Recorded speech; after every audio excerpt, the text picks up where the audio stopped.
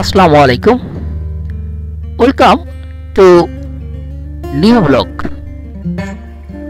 viewers আজ দেখাবো কীভাবে ড্রোন উড়াবেন আসলে সেটা দেখাতে পারব না, কারণ আমিও নতুন। একদম ফার্স্ট টাইম ড্রোন ওড়াচ্ছি। সেটা দেখানোর চেষ্টা করব আপনাদের। কিন্তু একটা সমস্যা আছে, দেখেন ড্রোনটা উপরে উঠিয়েছি বাট দূরে যাচ্ছে না। দেখেন। মধুমতি নদীর চরে ড্রোনটা ওড়ানো হয়েছে।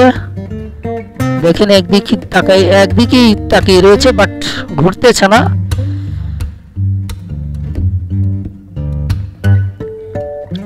তো আপনারা যারা আমার ভিডিওটি দেখছেন,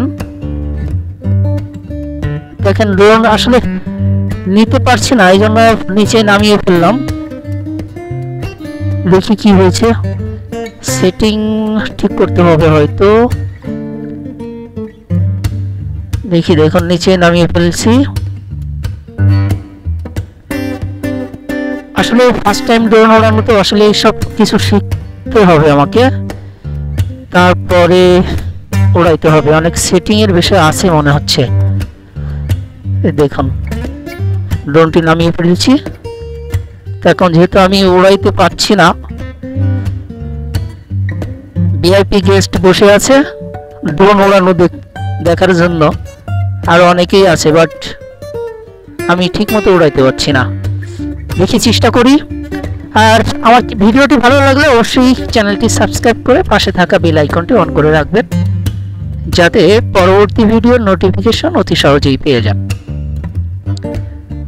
অবশ্যই একটি লাইক এবং কমেন্ট করবেন। আসলে আপনারা যারা ড্রোন উড়িয়েছেন, তাদের দৃষ্টি আকর্ষণ করছি যে তারা আমাকে একটু জানান। আসলে আমার ড্রোনটা হচ্ছে S J R C F S eleven F eleven S pro এই ড্রোনটা আসলে কীভাবে উড়াবো সেটা ভালো করে শেখা প্রয়োজন। এই জন্য আপনাদের বললাম কমেন্ট করে অবশ্যই জানিয়ে দিবেন আমাকে।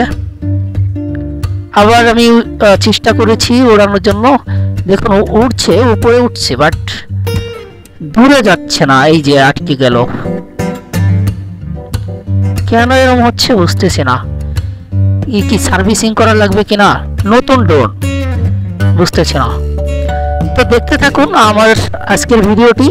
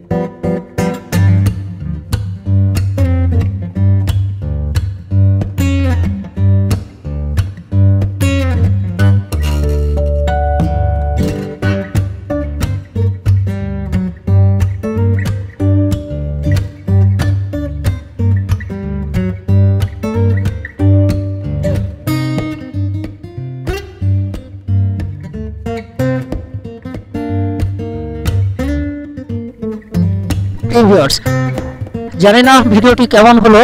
আসলে আমি অনেক চেষ্টা করেও ড্রোনটা দূরে নিতে পারিনি।